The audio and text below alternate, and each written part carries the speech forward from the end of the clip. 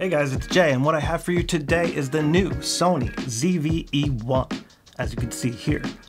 Basically what we have is a high quality full frame version of the Sony ZV-E10, which is a content creating style camera optimized for ease of use.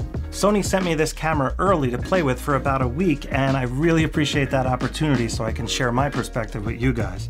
However, just so you know, this is a pre-production model and I was told that a firmware update is coming sometime around in June that will add more video frame rates such as 4K 120 and HD 240. All right guys, so I just want to break down some of these new features that the Sony ZV-E1 has that stood out to me, in particular uh, for ease of use purposes. These new features make the camera so easy to use that you don't have to know the advanced techniques required to use a camera, like for example the FX3. Uh, it's a pretty complicated camera, extremely powerful. This is a very similar camera as far as power goes, but it's way easier to use. So let's just get right into it. Starting off with the sensor, what we got is a 12.1 megapixel full frame CMOS Exmor R sensor, which appears to be the same exact one that's in the FX3 and the A7S III. This means it's a low light monster having a maximum ISO of 409,600. This sensor also has very little rolling shutter due to the lower resolution and super fast readout speeds when compared to the Sony ZV-E10 for example.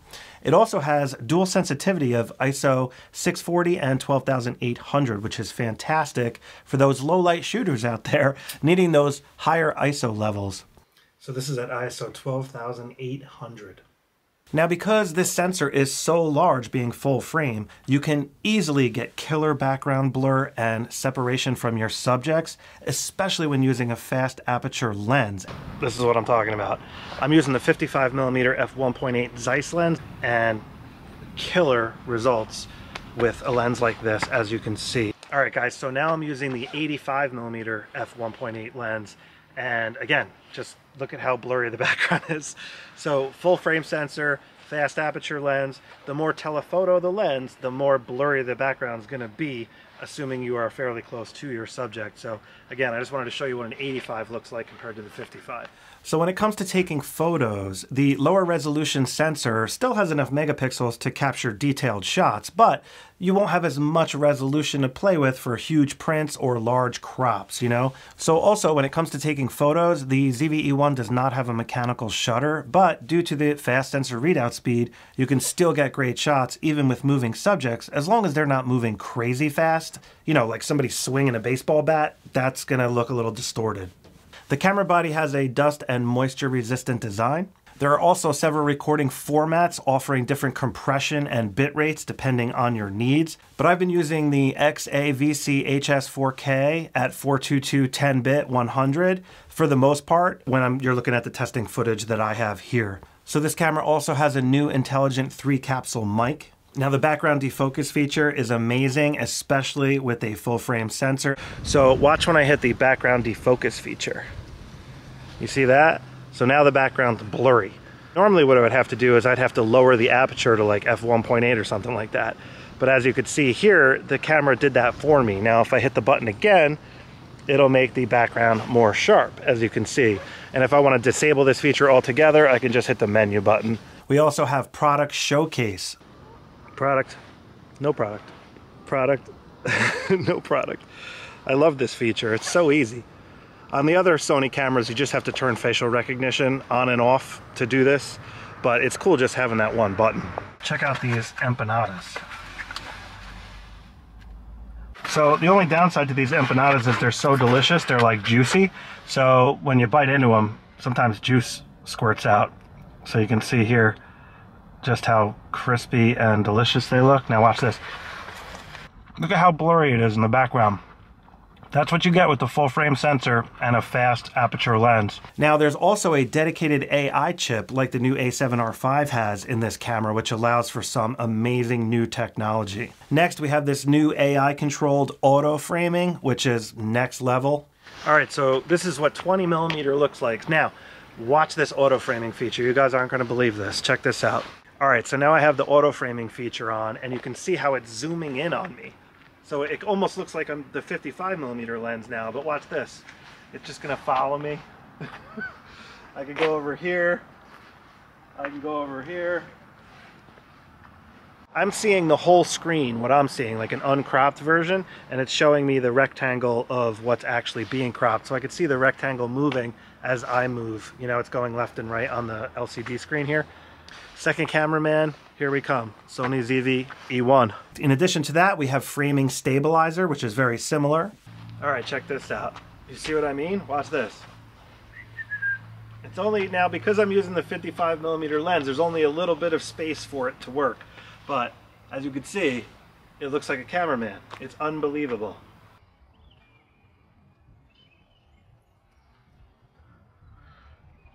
We also have dynamic stabilization mode. All right, so now I have it in dynamic stabilization mode and you can see the crop is pretty significant here. So with the 28 millimeter lens, you know, this is 28 to 60, I have it at 28. And again, this dynamic stabilization uh, looks to be working really well. So with a wider angle lens, uh, like the 20 millimeter, it's gonna be a great option. Um, but even like this, I mean, it is a tight crop, but it might work for you depending on what you're doing. All right, guys, so here we are again. I'm on my way back. I got my coffee. Um, so now I'm just using active stabilization, so it's not cropped in near as much, um, but the stabilization doesn't work quite as good. So that's active. That's off, which is the same as standard. It won't let me switch to dynamic while I'm recording. All right, so once again, that is dynamic stabilization. So again, with the 20 millimeter, it's not too bad. Like it's not too tight of a crop, but with the 28, it is a little much. So you can see here, this is what we're looking at. So let's go for a little drive and I'll hold this and see how it works. All right, so if you're using this in a situation like this and you're on a bumpy road, you want some stabilization, this dynamic stabilization is incredible, as you can see. All right, so now I'm using an 85 millimeter lens and I'm just doing a static stabilization test here. I'm hand holding. Um, I have it on active stabilization mode. I also have the microphone set to the rear audio now, so it should sound pretty good with me behind the camera. All right, so now I'm recording in dynamic, and of course it cropped in quite a bit more. And um, we'll compare these two. We also have multi-face recognition in auto, so everybody will look sharp if you have like a group of people. So you can see if I get close, like the background's pretty blurry. Now watch what happens when I add another face to the scene. So you could see how the face initially is blurry, but the aperture is now going to change automatically, nice and smoothly, to get both faces sharp. Now you can see this face is sharp and my face is sharp.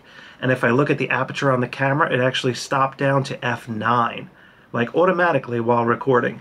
So you can add another face to the scene. So if we stagger these faces, so now we have three faces at three different distances. Again, if you're using intelligent auto mode, this feature is amazing. This camera also has a new touch interface, so it's going to be way easier for people coming from smartphones used to touching the screen to do what you want. If you swipe left and right, see how those menus on the side go away? And you can just bring them right back. And you can also swipe up from the bottom to bring up the function menu. So this is like a new interface setup. And what's so cool about this is if you're in selfie mode, like in front of the camera like this, you can actually just touch the controls now. So you don't have to reach like behind the camera awkwardly trying to find, you know, whatever button it is you're looking for. You can see them on the screen right here, like all the buttons that you would need. So I really like this new interface as far as ease of use goes. Another really cool feature is the cinematic vlog settings feature. So you can, it basically sets the camera up with like cinematic settings with the push of a button offering several looks and moods as you can see here, such as S-Cinetone, so when using this mode, it does lock the camera down to 24p and also the CinemaScope crop ratio of 2.35 to 1, as you can see here. You can also change the focus transition speed in this mode, but other than that, you're kind of limited as to what you can do. Now this camera also offers the new menu like the FX3 and the FX30 has. It also offers log shooting, S-Log3, S-Gamut 3 Cine, and HLG. This camera also offers assignable user LUTs for turnkey log shooting. So when it comes to cost, we're looking at approximately 2200 to 2400 US for the camera body, and we're looking at 2500 to 2600 approximately with the 28 to 60 millimeter kit lens.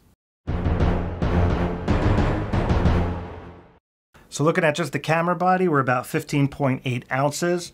And if we put the kit lens on there, we're looking at about 21.4 ounces. Now that's with the battery and the memory card as well. So overall, I would say the camera is very similar to my Sony a7C and the ZV-E10 as far as the camera body goes. The ergonomics are, are pretty good, but not as good as my a7 IV, in particular the grip here. Uh, the a7 IV has a, like a more pleasing ergonomic grip uh, going on there. All right, guys, so looking at the top, we have this multi-smart hot shoe here, so you can put microphones, lights, and other accessories in there. So we also have the record button here, and then we have the mode switch here, which is like a slide toggle design. In the center area, this is where that new three capsule microphone is located. And you can also comes with this wind diffuser that slides over there. So continuing along the top, we have this little icon here, which is the sensor plane. And you would measure from that if you're doing like macro photography and things like that. Now this right here is the tally light. So if we were to hit record, this lights up red. That's what that is. So you can see it from the front of the camera as well as the top of the camera. And the screen itself lights up with the tally light as well. I'll show you more about this when we turn the camera on. So also note the strap mounts here. They got these nice strap mounts that don't make any noise. They're like solid fixed. They don't jiggle around like on some of the older cameras like my A7C for example. So over here on the right side we have the on off toggle switch here which is really nice. I much prefer that over the ZV-E10 which has a slide on and off switch kind of similar to this mode switch here. It also has this power zoom lever which is fantastic if you're using power zoom lenses but you can also use it for the clear image zoom and digital zoom and stuff so it actually looks like you're you're using a power zoom lens, which is really cool. Um, in addition, the zoom lever works in playback mode to zoom in and out of photos and stuff like that. So you can check focus, you know what I mean? It's, it's really convenient to, to use the zoom lever for that one in playback mode. In the center here, we have a shutter button, which is a two-stage button. So if you press it lightly, it'll focus. If you press it all the way, it'll take the photo uh, when in photo mode. It just focuses when you're in video mode by default. So just behind the on off switch, we have the background defocus feature. Now this is awesome for creators because if you're if you want the background blurry, you just have to hit a button and it'll just set the camera up for you. And if you want the background sharp, again, you hit the button and it'll make the background sharp and you don't have to worry about changing any other camera settings. And that's a really cool feature and it works while you're recording. Now, lastly on the top, we have this control dial here and the feedback feels really good on this dial. And by default, this is aperture. That's what it by default controls, uh, depending on what mode you're in and stuff. All right, guys, so looking at it from the side, we got a couple doors here. If we crack this door open, we can pull this door open like so, and then this one opens this way like that. So looking at it from the side, you have a SDXC UHS 2 card slot. You have the mic port.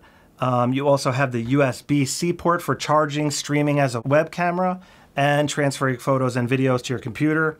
On the lower end here, we have the HDMI port and headphone port. Now, I do wish that the HDMI was a full-size HDMI, but honestly, because it's so small, um, you can have a cable plugged in there. As you can see here, when you open the screen, you can still rotate the screen even with an HDMI cable plugged in and, and a charging uh, cable plugged in. So you can still like manipulate the screen. Now looking at the bottom of the camera, we have the battery door here and it just has like a slide lever that pops open and it does not auto lock. You have to slide it over to lock it. And then there's this blue lever here to pop the battery out and put the battery in like so and it's got a little extra door here if you're using a dummy battery. So you can peel this little door back and have the cable come out if you're using a dummy battery. And then of course you have the quarter inch thread here for mounting tripod plates and things like that. Moving on to the back of the camera we have the standard three inch flippy screen now and this is the same screen, I believe, that's on the A7 IV. So it's about a million dots and uh, does the job well. I like how you can close it in armored mode like this, which is quite nice when you're storing the camera. Of course, you can have it the other way as well if you want the screen on the back. But like I said, when I put the camera away, I always have it in armor mode. Now you got a bunch of buttons over here. You got a zoom button, the function menu button. You have a control wheel that turns like so. And then it also acts as a four-way button. So you got up, you know, left, right, display and so forth. You have the playback button to get into the menu, uh, to view your photos and videos and stuff. Now down here is the garbage can, which is actually the product showcase button, and it works as a garbage can. If in playback mode, it'll you could delete photos and stuff. And then if you're in the menu system and you hit the garbage can, it'll actually uh, bring up a description of what that feature is.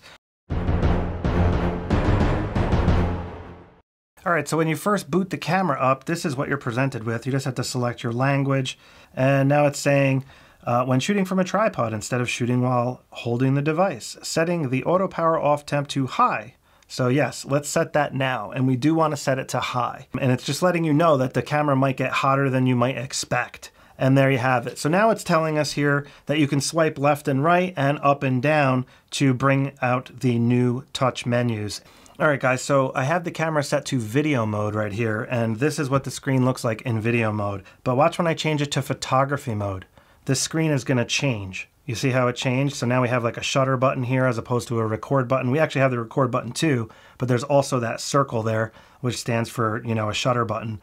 So now if I go all the way to the right to S and Q mode, you have intelligent auto, Right here it tells you it automatically identifies the scene and it'll shoot a slow or quick motion movie and you can select your settings there. It also does time lapse here, so you have automatic time lapse as well. Now you can set these settings manually, but it's just cool that this is built in and it has like an auto setting for you. So if you just want to capture a really quick time lapse or something like that, you could just go right to auto, boom, you're good to go. Again, this thing is optimized for ease of use.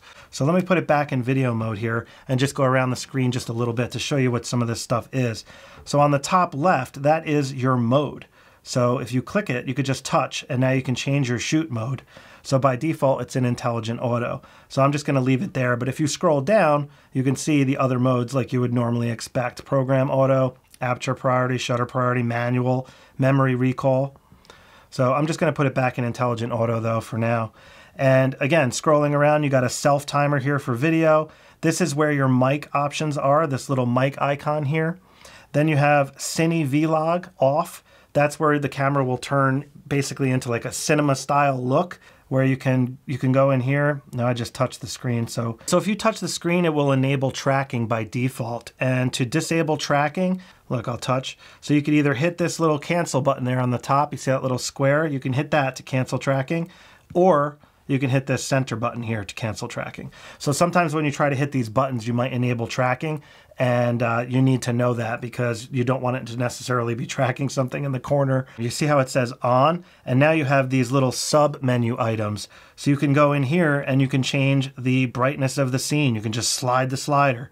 You can change the temperature of the scene. You can just slide the slider. And this stuff works while you're recording. I can go into the uh, custom settings and I could make this, this the scene brighter or darker just by sliding left and right as you can see here. I can also change the color temperature by going here. I can make it warmer or cooler. I'm just going to hit the menu button to go back and I'm going to turn that off. And now up here you have the record button. If I hit that, you can see it's recording and now I have that red box around the screen letting you know that it's recording as well as the tally light up here letting you know it's recording and just hit that to stop recording. Now you have the product showcase option right here, which is also the garbage can button. You can see the little icon here is the same as the icon there. And over here you have subject detection or recognition. So right now it's set to birds. And these buttons here, some of them, like this one in particular, acts as like a, a toggle. So you just are cycling through each time you press it as you can see, and now I'm back to human. Now zoom will automatically zoom in for you. If you press this, you can select what kind of zoom option you want. So you could either use the zoom lever or you can just click like 1.5 or something like that and it'll zoom in for you. And then again, you have a shortcut and if I just hit the X, it'll cancel that out, the little X next to the zoom there. So then you have playback, which is the same as hitting the playback button. That'll bring you into that menu.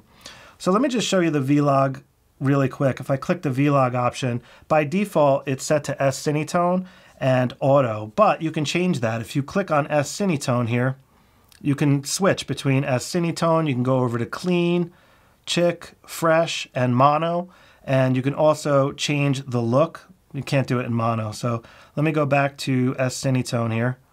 And instead of auto, we're going to change that. You can change it to gold, ocean, and so forth. I'm using S Cinetone, but this time I'm using it in the gold like variety. So you can change the way the S Cinetone looks. It has a couple different options. Let me show you. Here's the ocean version. So this is what the ocean looks like. And then you got a forest version which adds like a green, kind of like a green cast to it.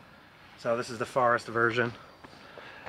Let me just go back to the original here. All right, so now this is S-Cinetone Auto, which I think looks really good, just as is. Looks pretty good.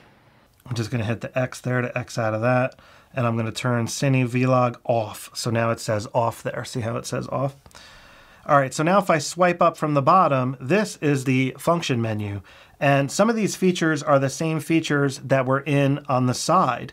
But here, it gives you like more power. For example, if I hit the microphone, instead of just toggling through the different mic options, here you can actually go through and select which one you want. So you can select front, all directions, back, and then just click OK. But watch when I hit it up here. When I press it up here, it's just cycling through the options, you see? So you don't get that other menu when you're doing it from these buttons. Same thing with the facial. So if I click the facial one, see now how I have the option on the side and you can just scroll through all the different options quickly. When you click it from up here, you actually have to cycle through, you know? All right, so looking around this menu here, because I'm in full auto, the options on the left are grayed out, um, but one of them is picture profiles and the other one is white balance. So if you go to a more powerful mode like program auto, for example, those features will ungray and you'll be able to see them a little better. Um, but what I wanted to show you here was the stabilization one. You see how it says active right there? If I click on that icon, these are the stabilization modes. Now this new one here is called dynamic active.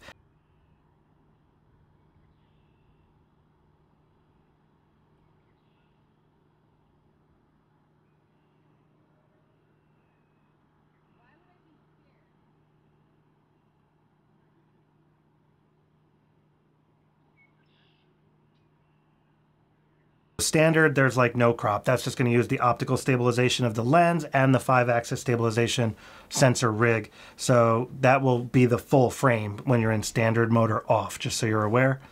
Now, if I just go back here, I'll just click OK, swipe up. All right, guys, so as awesome as the dynamic stabilizer is, it crops in quite a bit. So if you want to get like butter smooth stabilization while you're walking with zero crop, this is where a gimbal would come in. Now, this is the DJI RS3 Mini, and it's pretty much the perfect solution for the ZV-E1 because it's such a small camera and the gimbal itself is very lightweight.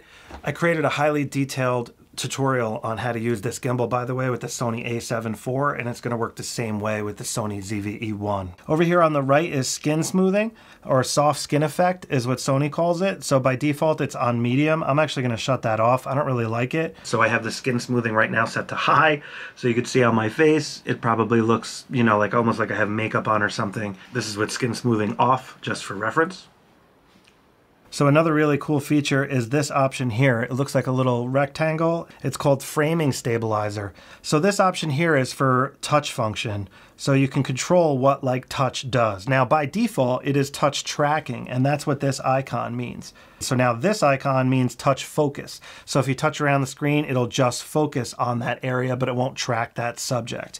And if you scroll, you have other options here like this one, AE.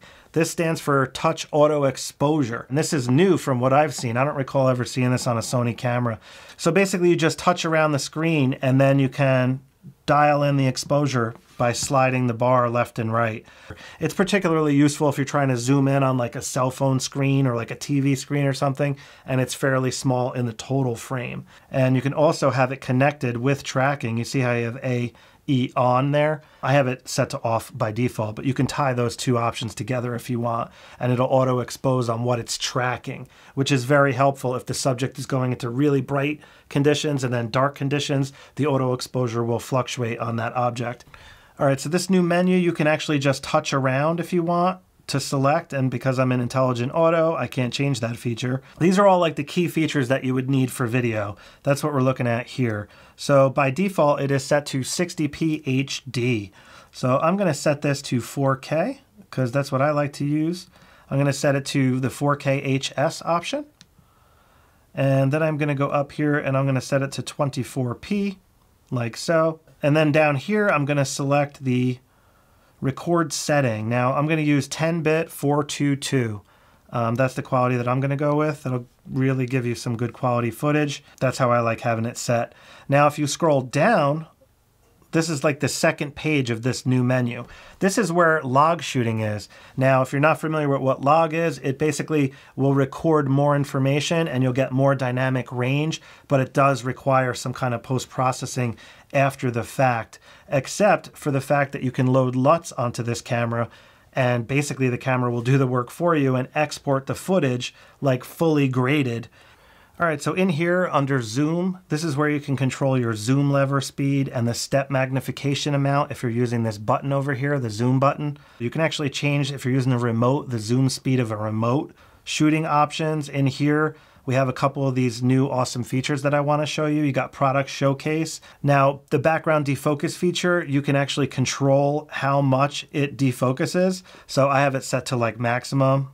I want it to go out of focus as much as possible. All right, guys, now auto framing settings. If you go in here, this is where you can adjust the settings for this particular feature. All different options. You got on, off, of course. Then you can change how it starts. So you can have it start in like 15 seconds. You can have it start when you hit the tracking button, or you can just have it auto start for you, which is what it's set to by default. And you can also change how much it zooms in on you. So if you want a really tight crop, you can go to large crop level, medium crop level, small crop level. I'm going to set it to large crop level and you can change the tracking speed as well. So if you like move quickly, it'll take a second for the camera to catch up like a real cameraman and you can actually change the speed of that. You can change the way that this exports as well. Like if you're uh, streaming, for example, or if you're recording externally via the HDMI, you can change those options as well by having it not crop or crop. Now I wanted to show you this stuff because it's very important when you're trying to get more dramatic transitions. And this is the autofocus transition speed. So by default it is set to 7. I would recommend slowing that down to like, I don't know, 5, something like that. It looks a little more cinematic when it's going just a little bit slower. Now if you're using faster frame rates however, you might want to speed that back up because when you're using like 60p, for example, if you're going to slow that footage down, the slower transition speed might actually take too long and kind of look weird. So face memory, this is where you can actually program faces into the camera and then you can prioritize those faces. So if you're shooting sports or your kid's in a play or whatever the case may be, you can take a picture of your kid or whoever you're tracking and you could prioritize their face. So if there's like a group of kids, the camera will focus on the face that it's looking for. All right, so in here is where your streaming options would be, and this camera will just work as like a webcam if you plug it in to the USB port. Now here is where you can save and load settings. So if you have the camera set up, you can actually save the settings uh, to a memory card and then you could bring the memory card into another camera and then load them. So if you had like multiple of these, you would only need to set up one camera and then you can save the settings and then bring the memory card and just load up all the cameras with those settings. This is the customize area. Now you can go in here and customize this camera to a really high level. As you can see here, custom key set if you go in there, this is what's showing you what you can do. And it's just incredibly powerful how many things you can change on this camera. If you want to change buttons around and stuff, this is where you would go to do that. Now, function menu settings, you have a function menu for photos and a function menu for video, and you can customize these however you want. That one feature I was telling you about earlier called auto framing, I was thinking about adding that into the video menu here instead of soft skin effect because I don't really use that anyway. So I'm going to add the auto framing feature in here. Auto framing, there we go. So now we have auto framing in there and we have the frame stabilizer. So we got both those features in the function menu. So now if I swipe up, you see how I have the auto framing feature there? So I just customized my function menu and now I have that feature in there so I don't have to dig down in the menu to find it. Now different set for still and movie. If you go in here, this is where you can click OK. So what this means is if you have all these options selected, when you switch from photo to video, uh, like using the switch here, if you have the camera set to like f4, for example, at a certain shutter speed, and then you switch it to video mode, those settings will stay. So you might not want that. If you want completely independent settings for photo and video, you want to enable all this stuff. And I have this stuff enabled on mine. This is how I have it set on my a7 IV as well. So if I switch from photo to video mode, I have completely independent settings. screen reader. This is for people that are like visually impaired. You can actually have the camera will read the screen to you. Monitor brightness is one thing that I definitely wanted to show you here. Because there's no viewfinder on this camera, it can be really hard to see the screen in bright conditions. So if you go in here and just hit the center button, you can actually select sunny weather. And notice how much brighter the screen just got. That's sunny weather and it makes it way easier to see outside in the sun. So I wanted to make sure you guys knew about that. Now monitor flip direction, some people don't like when it looks mirrored and this is where you can go to change that. All right, so the last thing I wanna show you, just in case you didn't set it up when you uh, first turned the camera on, is the auto power off temp. Highly recommend putting that to high and that'll allow you to record for a really long time. So who is this camera for?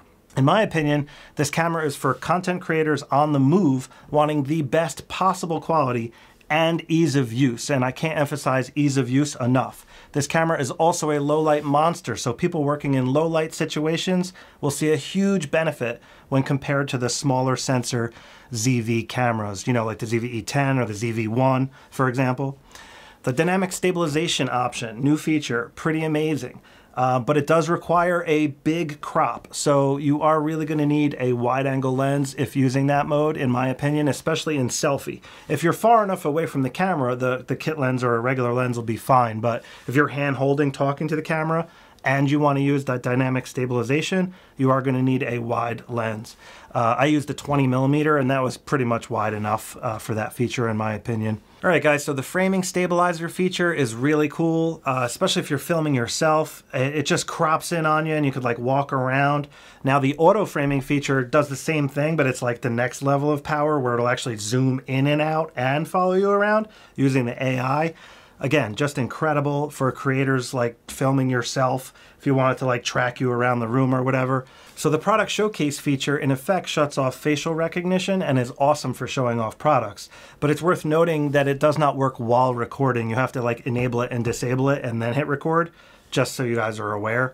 And you definitely do want to disable it uh, if you're not using it because if you put your hands up or something, it's going to focus on the hands. Now the background defocus is another awesome feature because you don't need to mess with the aperture controls or anything like that. You can just hit a button and the background will go blurry or the background will go sharp depending and you can do that while recording. So you don't have to stop recording to enable and disable that. The new screen user interface is awesome and it's set up so much more for touch. People coming from smartphones and not necessarily hardcore camera users are going to love that because you could just touch the buttons on the screen. And like I said, when you're in selfie mode, having to reach around the back of the camera to change settings and stuff like sucks. So now you can just point around on the screen. Now for the long form filmmakers, you might be better off going with something like the FX3 because that has active cooling. Now that camera is significantly more money, but the active cooling and built-in cage might be something for long form recording. Like I'm talking like hours of recording. Now, I, like I said, this thing, I didn't have a problem with the overheating once I set the temperature to high. Before I set the temperature to high, um, it did overheat. It stopped recording in like 30 minutes or so when I was recording 4K 60. But once I set it to high, no problem. All right, guys, that about wraps up the Sony ZV-E1 first impressions video here. And I really hope you guys got what you were looking for. I really appreciate you checking out the video. Do me a favor, please hit that subscribe button and uh, that thumbs up if you don't mind, if you found this video useful. I'll really appreciate that.